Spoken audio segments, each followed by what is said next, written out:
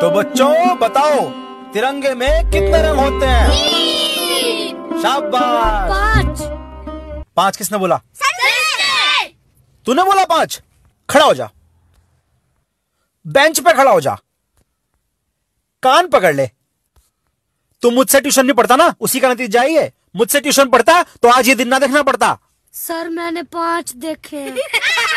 चुप चुप चुप। बता कौन से होते पाँच? बता। सर पहला केसरिया दूसरा सफ़ेद तीसरा हरा और आप भूल गए चौथा चक्र का नीला रंग। ये तो चार ही हुए। पांचवा रंग कहाँ से आ गया? पांचवा वो लाल रंग का धब्बा। सर जब मैंने अपने पिता को आखिरी बार देखा था वो तिरंगे में लिपटे हुए थे और वहाँ पर वो लाल खून का धब्बा भी था। तिरंगे का पांचवा रंग।